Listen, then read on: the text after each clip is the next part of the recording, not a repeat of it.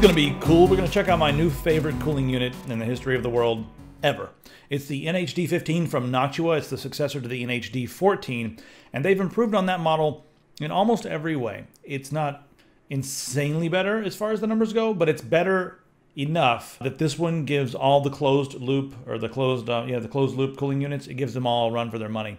So let's go ahead and talk about what we have here. We have one hell of a freaking huge um, heatsink. And there are two stacks here, and they've widened out the heat pipes. There's six heat pipes in total. They've widened those out uh, to really uh, give you the best heat dissipation possible, according to their science anyway. They've also raised it up a little bit because some of the, the fins on some of the, the fancy RAM, because I mean, let's face it, if you get one of these, you've probably got some fancy RAM. I know you guys wearing it around as a grill, you know. It, it'll work with RAM up to 32 millimeters high. Pretty good. Uh, they've also made the fans a little bigger. Uh, they're now 150 millimeters as opposed to 140 millimeters. However, they're in a 140 millimeter enclosure. They just look a little funky. Um, and uh, the, the speed on these is the minimum 300 RPM. Uh, and then it goes up to um, I think 1200 with the included low noise adapter. So that's kind of cool. They you know stop the noise. You, you, hook up the adapter, plug that in between the fans and uh, you know your CPU fan headers uh, on your motherboard. But if you do not leave those plugged in, it'll go all the way up to 1500. So it, they really let you decide if you want low noise or high performance. And I don't even know why they include it because the noise is completely like not even there. Even with an overclock system, it's just so freaking quiet. Now we have two included. The the model number is uh, NF-A15.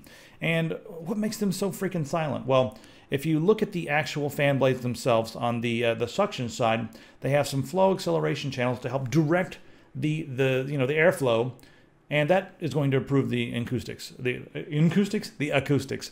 Also, if you look on the inside of the housing, you'll see some uh, micro channels um, and some some tiny little like just bumps and structures and lines and all these fancy things that they have technical names for, but it's basically just helping to direct the wind and also break up some of the the the uh, the, the noise making um, parts of the wind. That's totally not scientific, but it makes it super quiet. As far as uh, socket compatibility goes, it works with pretty much all the 1150X stuff from uh, Intel. AMD's uh, AM2, AM2 Plus, AM3, AM3 Plus works with all that stuff. FM, uh, FM1, uh, FM2, so it works with all those. 2011 3, 2011 0. So Works with um, just about everything. Uh, with the FM2, of course, you have the backplate required. And um, they're, I mean, as far as their mounting goes, I think it's the best in the industry. And uh, I wish everyone would just, just steal it and start using it because it would make my life a lot easier when I'm testing multiple heat sinks. There's some other good ones out there, but Noctua is by far the easiest. And as with all their other products, it just seems to be the most well thought out thing out there. As far as mounting this in your system, you do have two of those NF-A15 fans.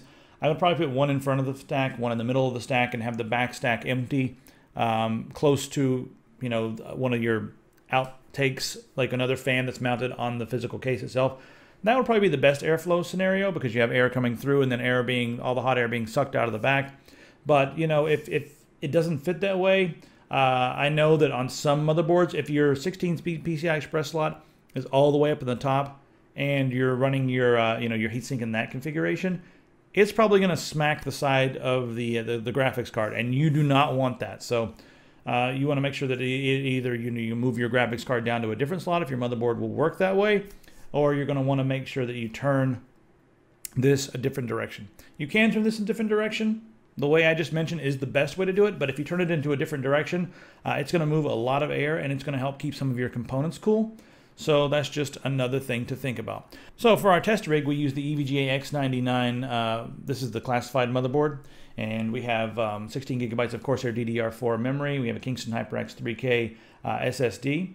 Um, and um, we have um, oh, just all kinds of stuff. You guys can click on the link and it'll take you to a list of everything we use to test this. We use the Intel 5960X because it's the crazy uh, you know CPU right now and I wanted to see what we could do with it. We ran it at stock and then we also overclocked it all the way up to 4.3 gigahertz. At stock, running 100% load for about 15 minutes. Uh, the minimum was 37 degrees, the max was 47 degrees, but the average was 46.7. I uh, didn't spike too much really in there, but you know, 47 degrees was the max at the stock. All right, running it overclocked uh, all the way up to 4.3 gigahertz. You guys can see the minimum was 48, uh, the max was 76, the average was uh, 69.4. I always look for the spikes. Um, the average is nice, but the spikes are what's going to fry your system, especially if you're getting close to the T-junction max. Thankfully, though, uh, we're nowhere near the uh, T-junction max on this, so no big deal. Now let's talk about noise. Um, it's 35, around 35, 34, 35 decibels. Uh, just what I do is I set the uh, decibel meter right here on the table. Um, and it's like 35 degrees, or 35 degrees, 35 decibels at idle. And then under a, a full load, it's um, 39 decibels. That's like less than leaves rustling or whatever. I decided to see how uh, much louder it would be if I cranked it up to 100%, and it did hit 42. It rarely runs at 100%. It generally runs at 60 or 70, possibly 80% under full load, even with the overclock. So, you know, I've been saying this is almost as good or possibly better than some of the closed loop cooling units out there. So what I'm going to do, I'm going to put my money right here in my mouth and chew on it for a while. I'm going to put this against the H105 from Corsair, and I've also got a couple Cooler Master units in the house. We're going to put all those together and just see how they all stack up. So stay tuned for that. Be sure to subscribe to all of our channels because you guys are awesome, and, and we're, maybe we're maybe we're awesome. I don't know. You guys let us know what you think. I'll cry myself to sleep if you say one bad thing in YouTube. I'll do it. All right, guys. Uh, see you guys in the funny papers. Is that what they used to say in the 20s? I have no ending. Just close it sometime. Please.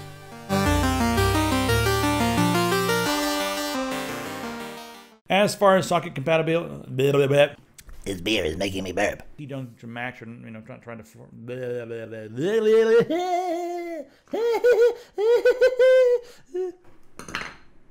Hey everybody! Oh shit! Is this peaking?